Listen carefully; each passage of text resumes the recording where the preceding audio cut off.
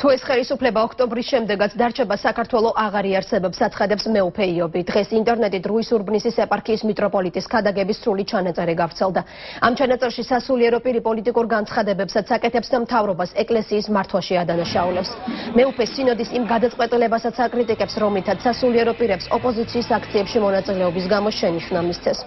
შეგახსენებთ რომ ცოტა ხნის წინ სოციალური ქსელით მეუფე იობის ამ ქადაგების მხოლოდ ის ნაწილი გავრცელდა სადაც სასულიერო პირი აიდი დიდი ბარათებზე საუბრობდა. დღეს კი სრული ჩანაწერი გამოქვეყნდა.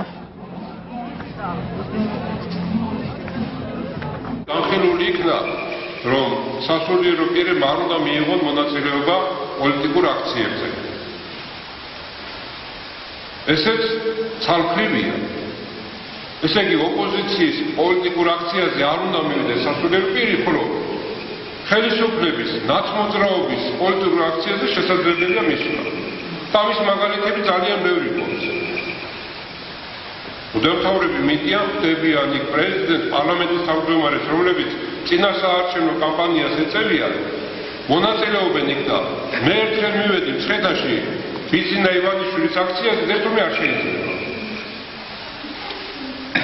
აი ესეთი გადაწყვეტილებები ხდება სამწუხაროდ.